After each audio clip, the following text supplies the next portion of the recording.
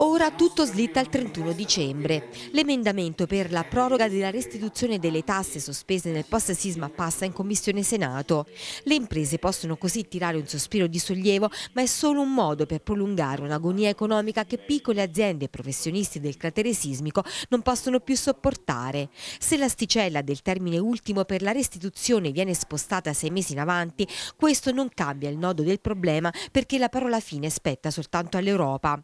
Un L'interlocuzione con Bruxelles è stata già avviata affinché gli sgavi fiscali non vengano più considerati come un aiuto di Stato oppure affinché la soglia del de minimis delle aziende venga innalzato da 200.000 a 500.000 euro. Se ne riparlerà però forse in modo concreto soltanto in autunno quando le istituzioni europee entreranno nel pieno delle loro funzioni dopo il voto di domenica scorsa.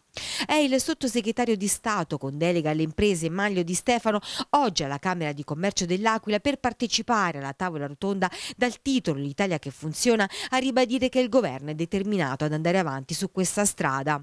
Un incontro c'è stato anche tra il sottosegretario e il direttore regionale della Confcommercio, Celso Cioni. È l'unica opzione possibile perché la contrattazione vera è con l'Unione Europea, quindi non si può risolvere per norma in Italia, bisogna risolverlo per, uh, contrattando con l'Unione Europea. Quindi intanto si proroga e poi con l'Unione Europea si prova a risolvere il problema definitivamente. Purtroppo quella è una mancanza che è avvenuta all'origine del problema quando non è stato comunicata all'Unione Europea dal precedente governo il, la, la, necessità di interrompere quella, quei pagamenti. Continuare ovviamente a, ad avere interazione col, col, col, governo perché il nostro obiettivo è quello ovviamente di aiutarle e di proteggere le loro aziende. Ma la nuova proroga non basta, le imprese non hanno le risorse per poter far fronte alla restituzione di somme ingenti. Le imprese sono 124, parliamo di 76 milioni da restituire, potete immaginare alcune devono restituire centinaia di migliaia di euro che sarebbero diciamo, um, qualcosa di, di, distruttivo per questo territorio e qualcosa che potrebbe creare un, per questa economia